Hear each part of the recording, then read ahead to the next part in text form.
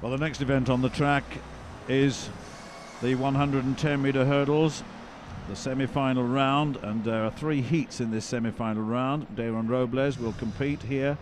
He's the world record holder. Liu Xiang, who went out in the qualifying, hitting that first hurdle, is the Olympic uh, record, holds the Olympic record. There it is in lane two.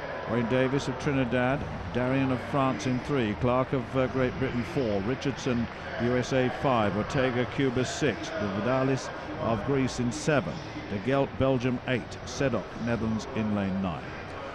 Wayne Davis the second, former American, declared for Trinidad from August the 4th, 2011. 13.27 is best. 13.52 in qualifying that uh, as a fastest loser he's through to this uh, semi-final.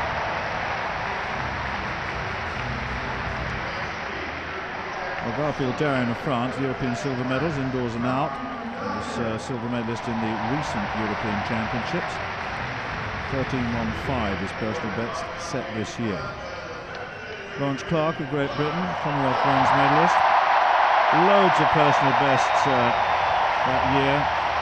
13.33 now, 22 years old.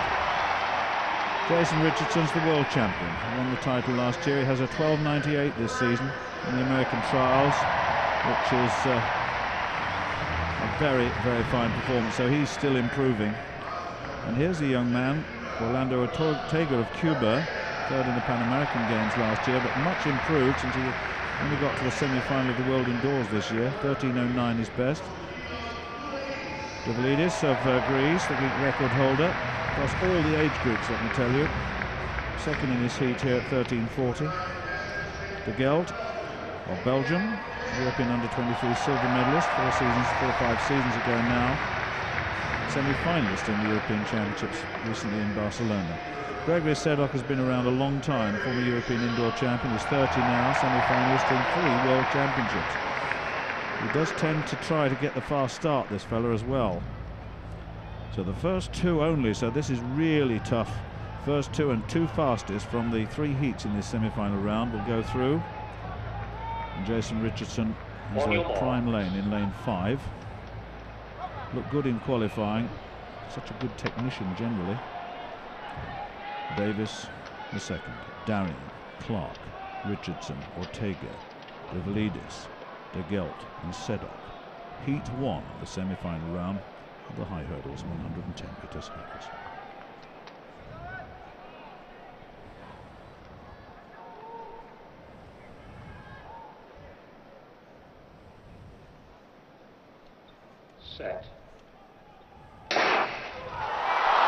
Richardson got away brilliantly, didn't he? And he's going into getting into his running. Ortega's going with him. And young Lawrence Clarke of Great Britain going very strongly as well. And Clarke's running brilliantly. Richardson's going to take this. Ortega's going to take second. Clarke third. And that is very quick. 12, a 13.13. And Richardson ran that beautifully. That was a very fine run indeed.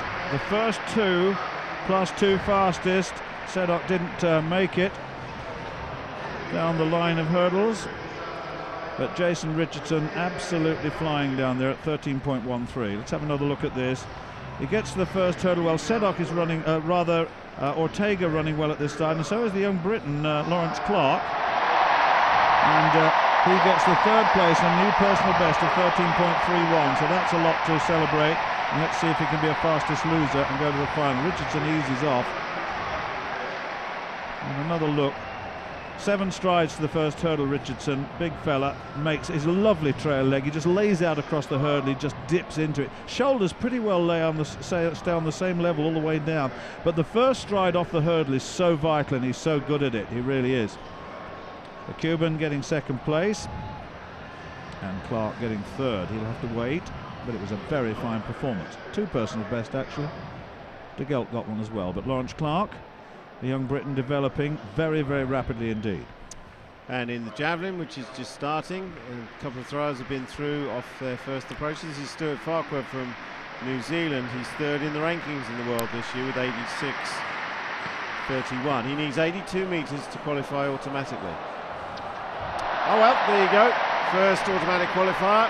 The New Zealander puts his arms up and says, what's the problem? Thank you very much indeed. Good throw from Farquhar. I'm tidy on the runway, but I'm a bit panicky about run-ups and control and rhythm. But uh, drives in, gets his hip in there onto the delivery, delays the arm, nice and relaxed. You can see he's nice and fluid. He's quite a tall uh, young man, he's uh, Stuart, and uh, it whips through down the right-hand side of the sector.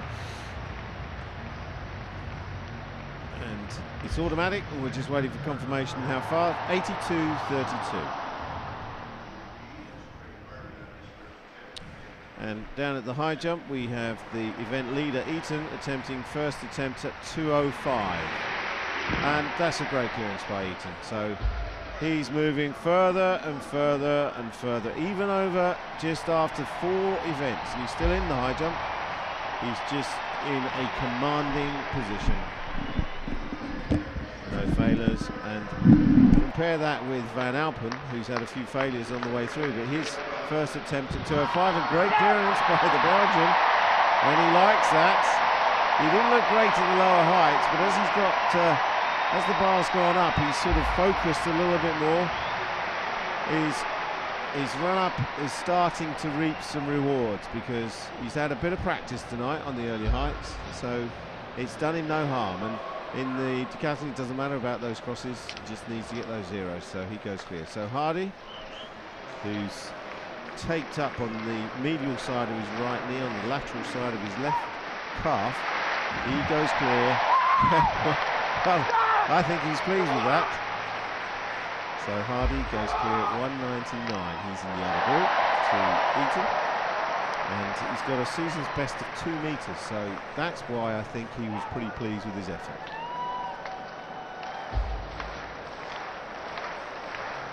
There you go. He's only had two jumps. Uh, but he may be feeling things a little bit. May feel he hasn't got many jumps in him. Jason Richardson, then the winner of the first heat, the world champion. Very relaxed through to the line. We'll bring you up to date with the result. There's his time 13.13. Ortega 13.26. They're the two qualifiers by right, but a personal best A Lawrence Clarke of Great Britain into a headwind, minus 0.5 metres per second. So the first of the three semi-finals. There we have a, a look at Aries Merritt, very much the man of the moment. He goes in lane seven in this second semi-final. Remarkable sequence of runs he's had this summer season. He won the US Olympic trials and then he won in London and Monaco and run 12.93 in all of them. And this is Andy Turner who's putting together a very fine championship record, having taken the bronze medals four years earlier, the European and Commonwealth champion two years ago. And Ryan Brathwaite, the world champion of uh, 2009. Hasn't really advanced since then, but 13.14, and he ran 13.23 in his heat actually, which uh, shows that he is getting back to best shape. But Merritt very much the favourite now, 12.93, the world leading mark, and he's done it in each of the last three meetings. So there's the full lineup, Richard Phillips, who was a finalist in Beijing, then Paulo Villar, the South American champion on a couple of occasions, Dimitri Bascou of France, former European Championship fourth placer, then Ryan Brathwaite, then uh, former African champion. Selim Nurudeen, then Andy Turner, then Merritt, then Konstantin Shabanov and Xie Wenjun of China. So this is Phillips, well his best of 13.39, but he was a finalist in Beijing, got in 47 to qualify, only just outside his season's best. Tall man from Jamaica.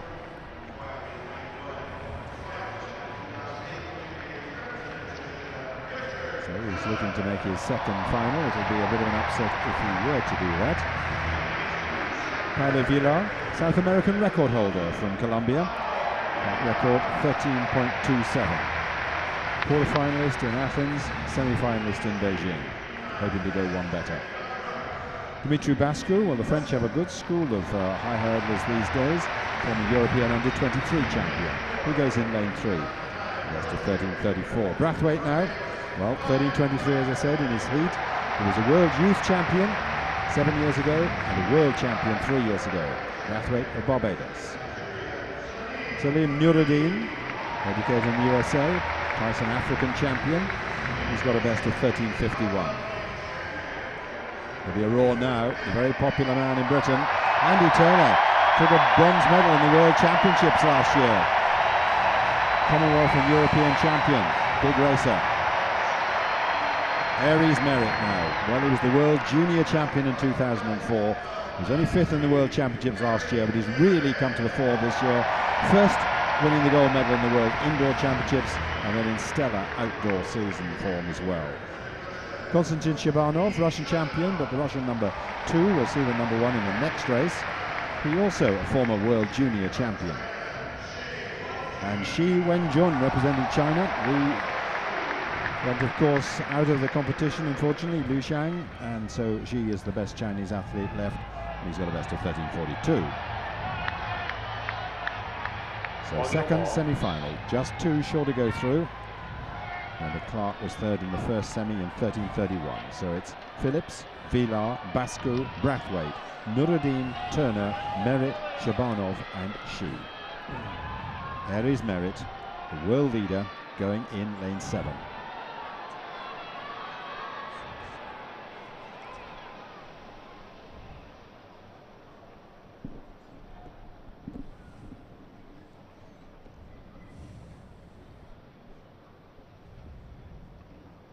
Set. Well, Merritt away reasonably well. Merritt probably away better, and so too um, Brathwaite. But now look at Aries Merritt coming through with Brathwaite. The two top men here. Merritt's going to come through and win it. Brathwaite is a clear second. Quite a long gap back to third. He was Xie of China. And I said he'd run his last three races in 12.93. Here's a 12.94. It augurs well for the final, Stuart. This man is in superlative form. Well, that's uh, Richard Phillips, who's halfway down the track and injured, and I think the medical staff are heading towards him now. He's limping away. But Aries Merritt, that was sensational. The last four races 12.93, 12.93, 12.93, 12.94. And it's seven strides. He's changed from eight to seven this season, and his leg speed is absolutely unbelievable. It really is. He's so fast off the hurdle. Now he has to chop all the way, and that's a very good sign. I mean, to have to, to do that is a brilliant sign. Look at that. 12.94. Well, Brathwaite goes through as the second place, but uh, you know it, that that trail leg is brilliant. But look at him, his short stride in the middle. He has to to get. Uh, he's running so fast into the hurdles that uh, if he had a very strong headwind, a backwind rather, he could be in a bit of bother because he's going so quick to get out of the way of the hurdles. But that is world class in every sense. Absolutely, 0.1, the wind almost negligible. Brathwaite equalled the time he did in the heat yesterday, 13.23, good time in second. Uh, Xie 13.34 in third place. Phillips, unfortunately, crashing out there, running on the inside lane. Well, there was casualties, but he was not in contention, of course. So we've got one more heat left as we switch our attention back to the decathlon high jump. And here we have uh, Suarez, the Cuban, who's making his uh, second attempt at 2 meters 05. So Suarez, the Cuban. Oh, that's a great clearance. I mean, he is a 216 uh, PB of 217 in the high jump, so it's his event. But look at the focus of that on the bar. Great takeoff off that takeoff leg. Shoulder stays high, close to the bar. And that was a great clearance by the Cuban.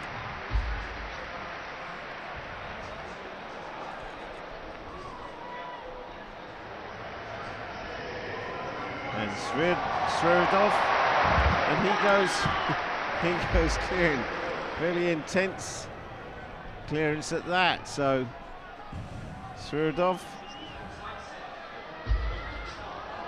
goes clear at 199 so he's in the other group. So he'll be moving up slightly slower than the group that uh, but Warner's in the same group. So he's had a failure at 199 and he goes clear as well. So as we said earlier once or two get a run on it it's a bit infectious. They get the confidences up. If he can do it I can do it. And that's what's happening on the in this B group.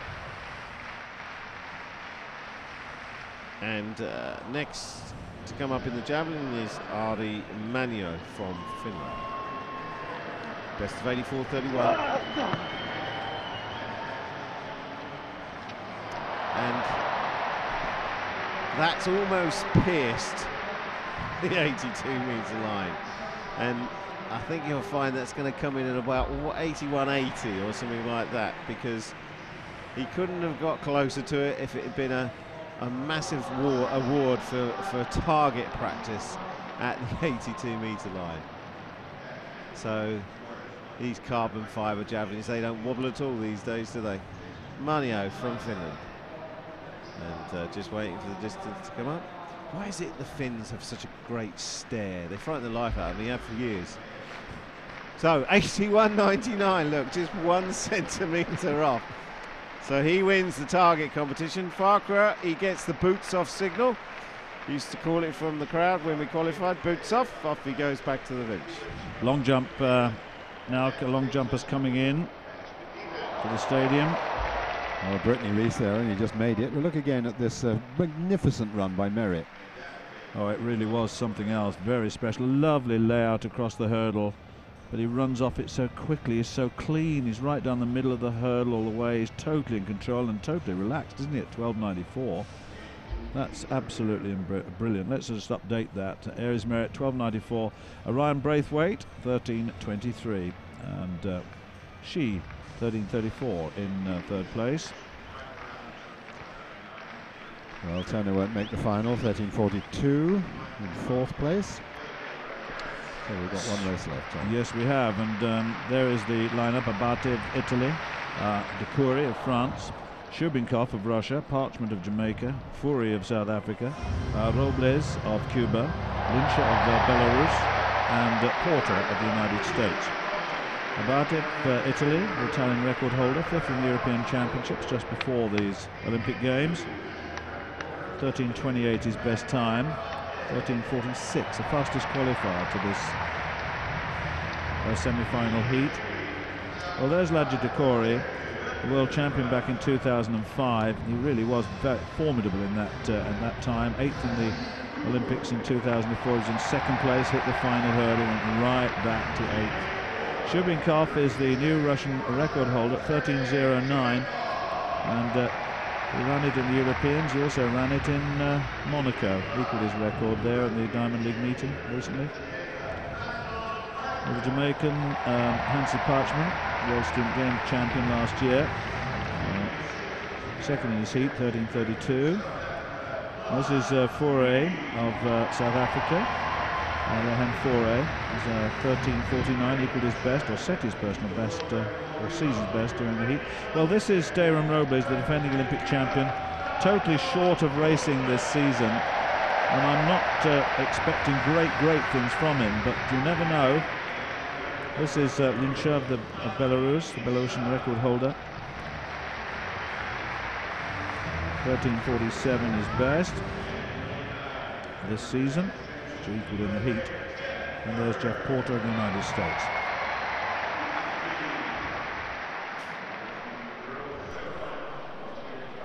Porter on the near side, third in his heat, 13.08 this season though, so if he runs at his best, you never know. Reduced his best from 13.26 to 13.08 in the Olympic trials. And uh, on your mark. So, Abate, Doucouré, Shubenkov, Parchment, Fourie, Robles, Lince and Porter the final heat in the semi-final round of the men's 110 metres hurdles. How fit is Robles is the question everyone is asking. He's the world record holder, the defending Olympic champion. There he is.